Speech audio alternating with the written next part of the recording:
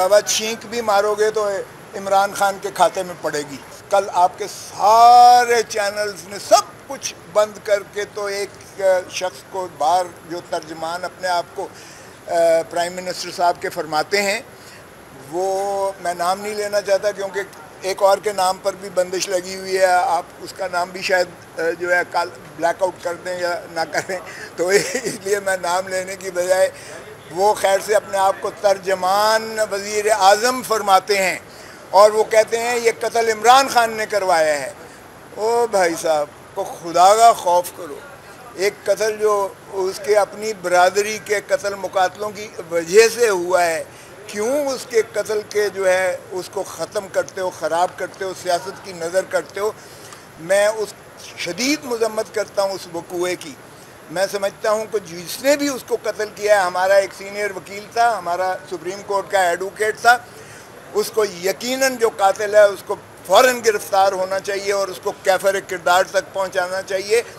कत्ल की सज़ाए मौत है, इससे नीचे कोई सज़ा नहीं है। इसलिए मैं तकाजा करता हूँ कि उसको पकड़ा जाए, सज़ाए मौत दी जाए। लेकिन खुदारा, हम भुट्टो का देख चुके हैं। भुट्टो पर किस तरह से एक जो है एहानत का इल्ज़ाम लग कर और सज़ाए मौत दी गई थी। आज तक कौम उसका भुगत रही है, पाकिस्तान उसका भुगत रहा है आज तक। ऐसा दोबारा मत करो, पहले भी तुम ही थे ज़ियाउल हक की बाकियात, पहले भी ज़ियाउल हक ने उसे फांसी दिलाई थी, जो अदालती कत्ल के ज़रिए। अब फिर क्या उसी डगर पे चल के आप कहते हो कि इमरान खान ने यहाँ इस्लामाबाद या बनी गाला में या उधर जो है जमान पाक में बैठ के कत्ल करवाया है, जबकि मुझे खुद ये सैकड़ों ने फ़ोन करके कहा है कि साईं इनका आपस का दुश्मनी थी इनकी बरदरी के कत्ल मुकातले थे जिसमें वो जो है शर कत्ल हुआ है। तो मैं शहर के हद साथ हूँ उसके लवाकिन के साथ हूँ उसका मैं पूरा चाहता हूँ कि कैफर किरदार तक पहुँचे जो भी कातिल है और मैं उसके दर्जात अल्लाह मियाँ बुलंद करे उसकी फैमिली के अच्छा, साथ मैं जो है पूरी तरह जो है उसके साथ हूँ कि क्या आप समझते हैं कि मंतखब हुकूमतें पंजाब और खैबर पख्तूनख्वा में वो आम इलेक्शन करवाएँगी। चौदह मई को अगर हो जाता तो फिर वहाँ मंतखब हुकूमतें होती और आम इलेक्शन उनके जेर इंतज़ाम होता। देखें, अच्छी बात तो यही थी, अगर आइन इसी चीज़ का मतकाजी है कि नबे दिन के अंदर इलेक्शन करवाए जाएँ, क्योंकि आइन में दो किस्म की देखें, किए गए एक, अगर पाँच साल मुकम्मल करती है अपना पार्लियामान या असम्बली तो साठ दिन के अंदर इलेक्शंस करवाना आइनी तकाजा है।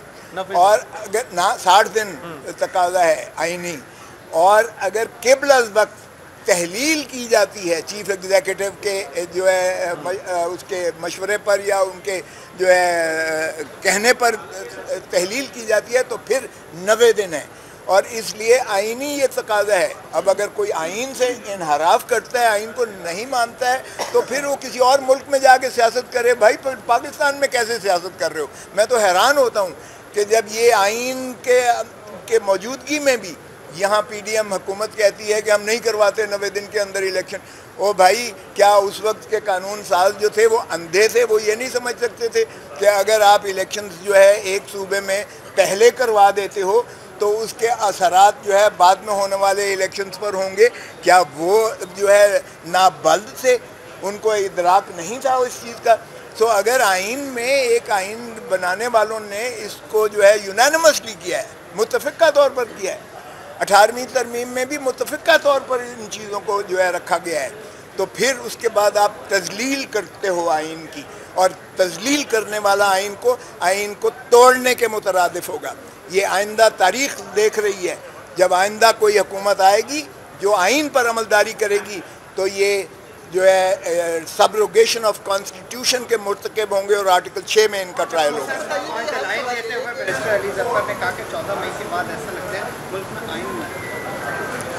ये सौ फ़ीसदी सही है। इस वक्त पाकिस्तान सरजमीन बेआइन है। इसमें किसी को कोई शक है? कौन सा आइन ये वो ज़ियाउल हक वाली हुकूमत चल रही है जो कहता था ये क्या आइन है? ये चंद कागज़ के पुर्जे और वो जूती के नोक नोक पर रखता था। ये तो जमहूरी हुकूमत हो के आइन के होते हुए, ये भी उसी तरह कर रही है। किस आइन की बात करते हो? ये अपने आइन पर जो है, अमलदारी है। दो तिहाई पाकिस्तान, यानी पंजाब में और खैबर पख्तूनख्वा में। ना ये लोगों को जम